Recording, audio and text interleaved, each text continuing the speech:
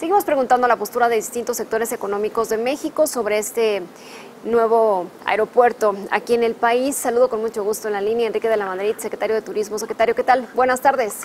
Lucero, ¿cómo estás? Muy buenas tardes. Gracias por tomar la comunicación. Vemos que habría dos opciones a seguir. Continuar con la construcción del nuevo aeropuerto en el lago de Texcoco y la otra es construir dos pistas en la base aérea militar de Santa Lucía y operar conjuntamente con el actual aeropuerto Benito Juárez. ¿Qué opinas? Así es, Lucero. Bueno, pues yo, yo insistiría que primero que para México es muy importante un nuevo aeropuerto internacional de México. Es importante porque lo que es la aviación y entre ellas también el turismo ha venido creciendo a tasas muy altas en los últimos años y el aeropuerto actual es absolutamente insuficiente.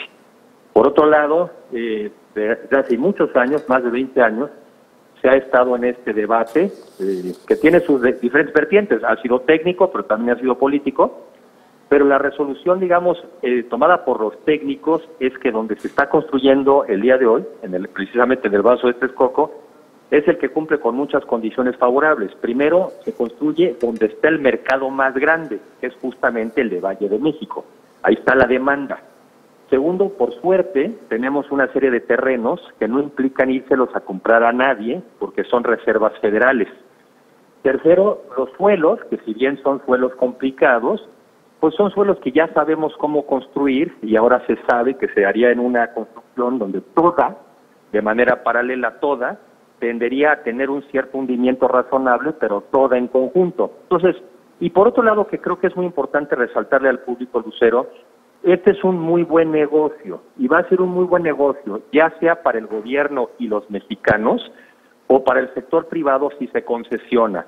Este aeropuerto en particular es un negocio ganador y repito, ganador para los mexicanos si nos lo quedamos vía el gobierno o ganador también vía una concesión. Hay comentarios que a veces me comenta la gente que dicen, ¿y por qué un aeropuerto si yo nunca voy a viajar? O nosotros no usamos los aviones. Bueno, pues eso podría argumentar alguien que también dijera que no piensa tener una carrera o no piensa realizar estudios y por lo mismo no se justifican las universidades.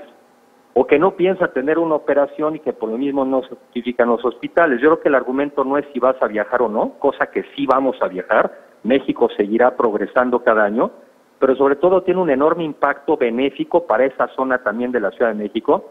Y el terreno que se liberaría, Lucero, podríamos hacer ahí el Silicon Valley mexicano, podríamos este aeropuerto que tenemos hoy en día reconvertirlo en un gran desarrollo urbano para la ciudad. Entonces, en lo personal, ojalá que la conclusión sea seguir adelante, me parece que es la más razonable y el aeropuerto internacional de la Ciudad de México o ya de México es necesario para el país y para todos los mexicanos, aún para aquellos que no se han subido todavía a un avión. Secretario, ¿qué opina sobre la consulta pública que se pretende realizar sobre este proyecto en octubre? Pues mira, Lucero, a mí me parece que hay temas eh, para los cuales las consultas están hechos, eh, digamos, la reforma a una constitución o temas de naturaleza política pero mandar los temas técnicos a consulta, pues me parece muy peligroso. Siempre yo he escuchado que no hay buenas o malas decisiones, hay buena o mala información, ¿no? Y también para tomar esas decisiones, francamente, pues lo mejor es basarse en las opiniones de gente que eso ha estudiado, para eso se ha preparado. A mí me parecería muy difícil que a mí me pidieran eh, que, me pronunciara sobre temas sobre los cuales yo no tengo suficiente información o preparación. Sí me animo a opinar del aeropuerto porque de eso me he puesto a estudiar y en eso me he preparado. Pero hay muchos otros temas de los cuales no puedo yo opinar. Supongo que le pasa lo mismo a la población y es muy riesgoso que nos echen encima la responsabilidad. ¿Y qué pasa si opinamos mal? ¿Y qué pasa si nos equivocamos en la decisión? ¿A quién vamos a ser responsable de eso? O nos van a hacer responsables a todos los mexicanos si nos equivocamos de la decisión. Me parece que hay temas que son de consulta y hay temas que no lo son. Enrique, aprovecho la comunicación para preguntarte sobre otro proyecto, el Tren Maya. López Obrador planteó que este proyecto del tren tendría una inversión de 150 mil millones de pesos provenientes de inversión pública y privada. Para este proyecto se considera disponer de este llamado impuesto al turismo. ¿Qué pasaría con el presupuesto destinado para la promoción turística en el exterior de los estados que no participen en este proyecto del tren? Como no, Lucero, mira, ahí, ahí he hecho yo un poco la siguiente respuesta. Como secretario de Turismo me gusta. Como secretario de Turismo me gusta porque la zona sureste del país, lo que es la parte también de la península de Yucatán, es uno de los lugares más bellos, incluso también abarcando lo que es el estado de Chiapas. Tenemos una gran oferta y también sabemos, y eso lo compartimos con la visión que tiene el gobierno entrante, tenemos un enorme rezago y el turismo es una extraordinaria oportunidad para ello.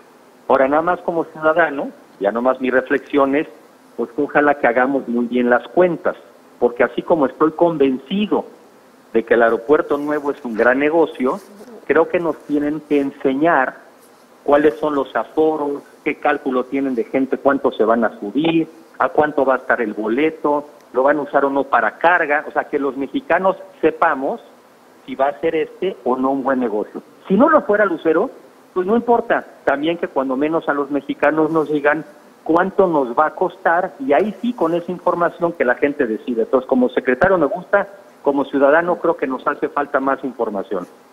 Enrique, un gusto saludarte como siempre, un abrazo. Lucero, gracias, muy buenas tardes.